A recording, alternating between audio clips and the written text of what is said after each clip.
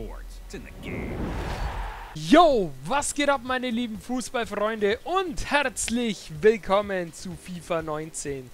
Ja, es ist soweit, seit 13. September ist die Demo-Version verfügbar, das heißt wir testen einfach mal die nächsten Tage, was denn FIFA 19 so kann, denn ab 20.09. Äh, kann ich bereits FIFA 19 die Vollversion spielen und bis dahin werden wir uns die Zeit mit der Demo-Version vertreiben. Wir machen heute mal wieder ein bisschen Anstoß und wir schauen auch direkt mal rein, mit welchem Team wir denn heute spielen. Also hier, das ist immer noch nicht freigeschaltet seit dem letzten Mal, aber okay, so ist es halt. Gut, mit wem spielen wir denn? Auf was haben wir denn heute Bock? Wir haben Bayern, Juventus, Turin, Manchester City, Manchester United, Paris. Ich will Paris spielen. Ähm, ich will einfach Paris spielen gegen... Äh, gegen wen? Manchester City? Oder... Okay, wen spielen wir denn gegen die spielen? Ja, machen wir Manchester City. Komm, was soll's. Gut, ähm, ich habe eine kleine Änderung zum zu gestern. Ich spiele heute auf Legende, das ist die höchste Spielstufe in der Demo-Version. Ich glaube, im richtigen Spiel wird es keine höhere geben. Wir testen es einfach mal aus, mal schauen, wie es wird. So, Mbappé, Cavani und Neymar, das sind natürlich drei richtig gute Spieler. So, da werden wir aber jemand anders nur rein. Also ich tausche ein bisschen ganz kurz durch.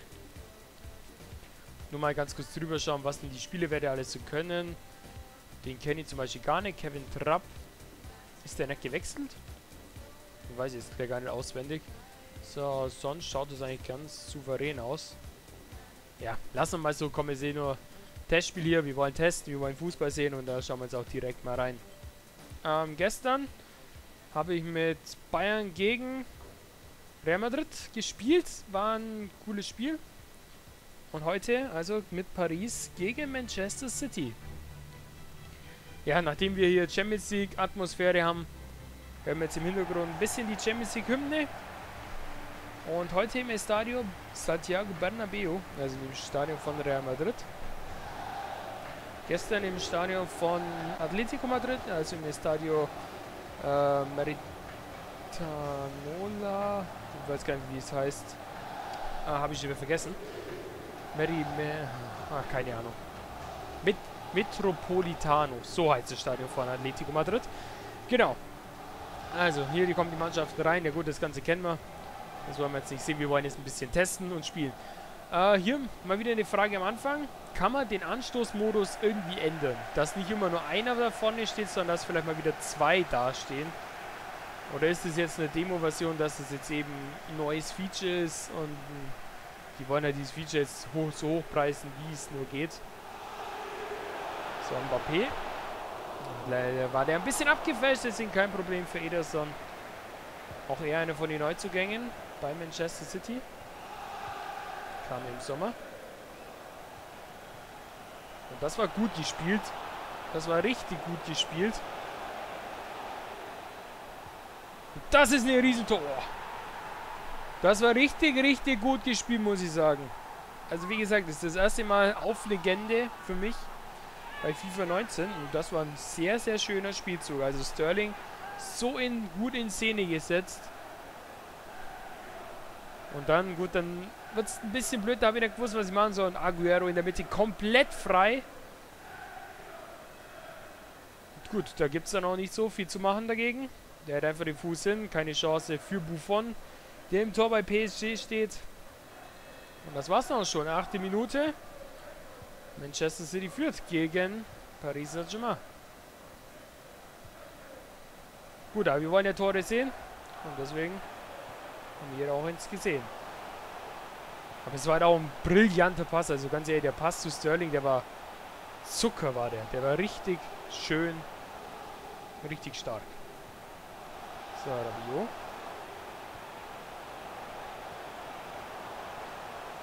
Mbappé. Ja, alle mit der Einzelaktion kommt man, glaube ich, hier in FIFA 19 nicht so weit.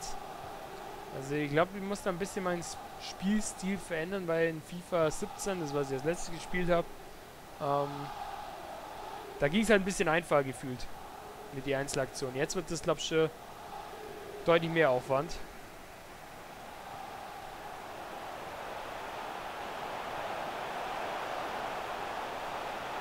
Ich würde gerne schießen, aber Der hat mir den Weg gerade so sehr, so gut zugestellt.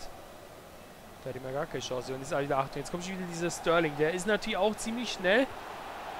Aber ich finde, die Geschwindigkeit macht nicht mehr allzu viel aus. Also in die vorigen Teile war Geschwindigkeit dann noch höher positioniert bei der Wichtigkeit. So, jetzt verdammt. Ah, komme ich nicht durch. Kommt er nicht durch, der Ball.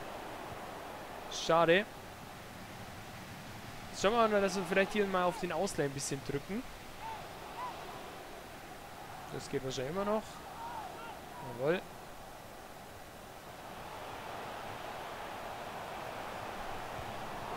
Ah, abgefälscht. Am ersten Midi vorbeigekommen, am zweiten hängen geblieben. Cavani mit einem schönen Abschluss. Hier sehen wir es nochmal in der Wiederholung. Ah, da war sogar der Fuß von Otamendi nur dran. Okay. Jetzt der erste Eckball. Sieht auch alles wie gehabt aus. Oh, aber nicht schlecht. Nicht schlecht.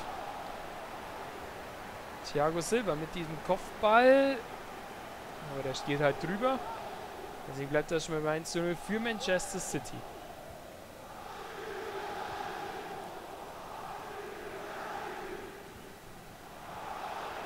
Gott. So, Rabiot.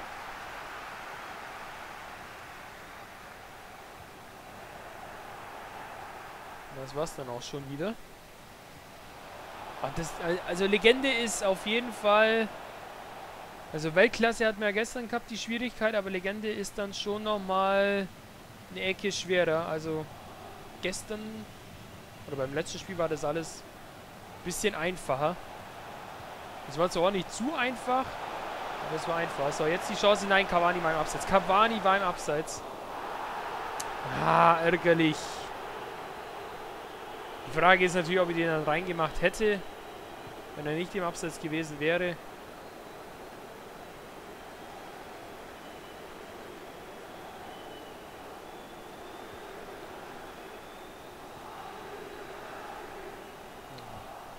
Okay, mit Neymar komme ich bis jetzt noch gar nicht klar und Mbappé fällt auch noch ziemlich raus. Eigentlich die zwei mitunter der beste Spieler bei Paris. Das ist Mbappé. Oh, gut gehalten. Von Ederson.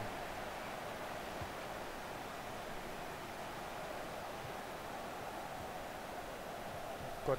Fragt mich, wie ich wo jetzt umeinander gepasst habe. Ich habe keine Ahnung, was das schon wieder war. Das Passen ist auch ein bisschen anders die Ziel. Äh, genau, die Zielung. Oh, komm! Ah, schade. Das wäre natürlich ein Traumpass gewesen, wenn der durchgegangen wäre und bei Cavani angekommen wäre.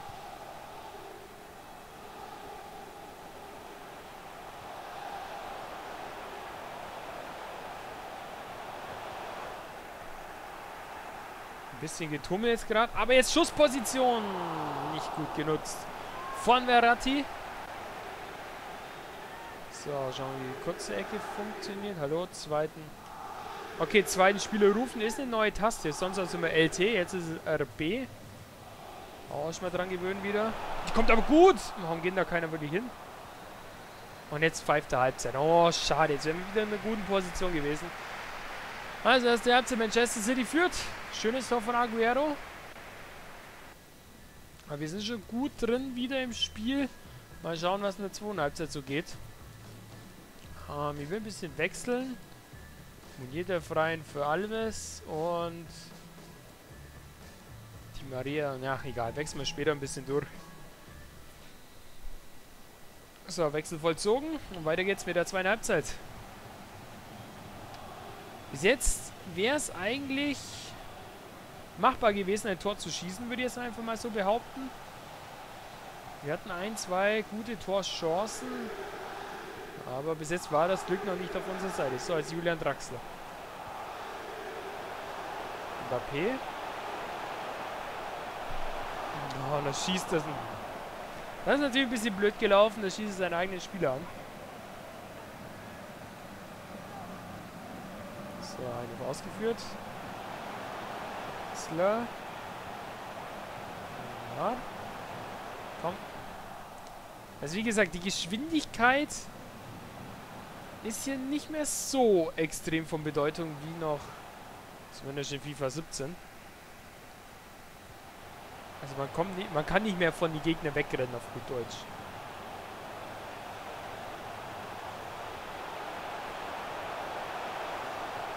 Oh, komm, der Pass muss ankommen.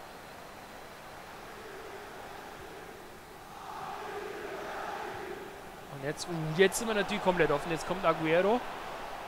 Und jetzt haben wir Glück, dass der im ersten Moment nichts draus macht und im zweiten Moment wirklich nichts draus macht. Das war Glück. Ja, normal hätte das das 2 zu 0 sein können. Das ist natürlich wieder ein heftiger Fehlpass.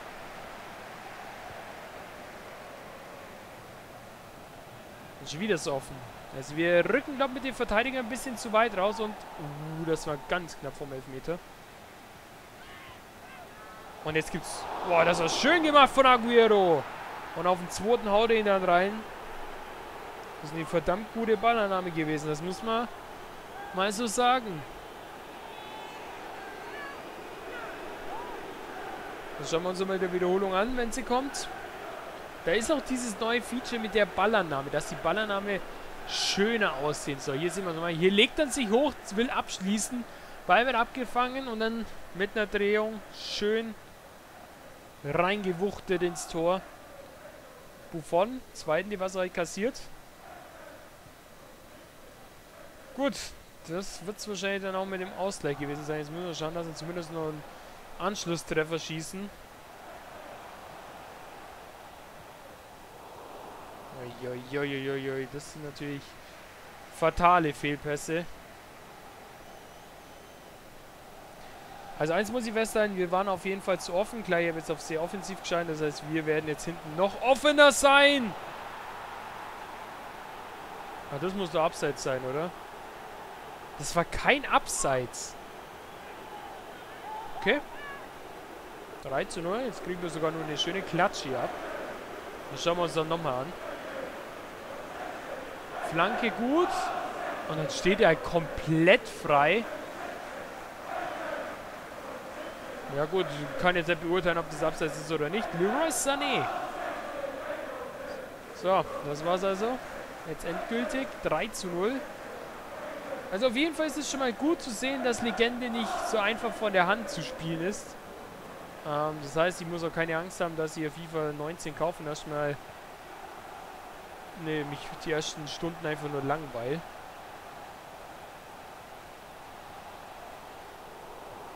Die Schusskraft, die ist auch noch ein bisschen... Eigentlich hätte jetzt die Flanke auf Cavani kommen sollen, da war die Flanke halt viel zu schwach. So, Sané. Gespielt, da ist wieder Aguero. Also viertes wird jetzt... Oh Gott! Hey, wovon hat er ihn gehalten?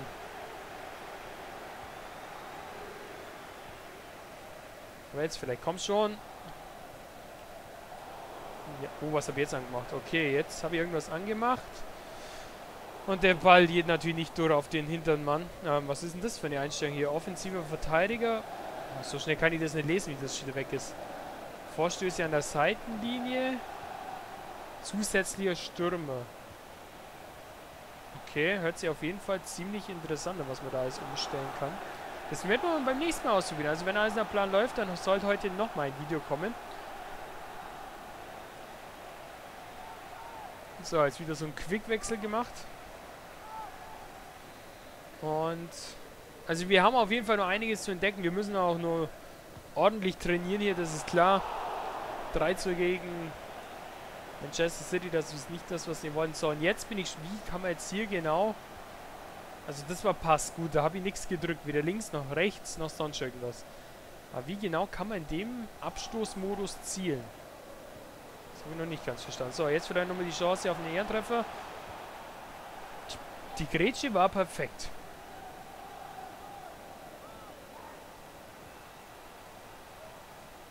Also wir haben auf jeden Fall ordentlich das Nachsehen gegen Legende. Bis jetzt gegen Weltklasse ging es noch gut, aber gegen Legende, da schaut es dann schon ziemlich happig aus. Und das war's dann auch für heute. 3 zu 0 verloren gegen Manchester City. Das ist eine herbe Klatsche. Eine herbe Klatsche. Aber gut, es ist, es ist ja eigentlich gar nicht so schlecht, dass Legende hier noch so schwer ist. Weil dann ist es nicht allzu einfach, hier so locker durchzurotzen. Und gut, auf jeden Fall war es das für heute. Es gibt später wahrscheinlich noch ein Video. Ich bedanke mich auf jeden Fall schon mal fürs Zuschauen. Und wir sehen uns dann ja, wie gesagt, später oder morgen wieder. Bis dahin, macht's gut, bleibt dabei. Ciao.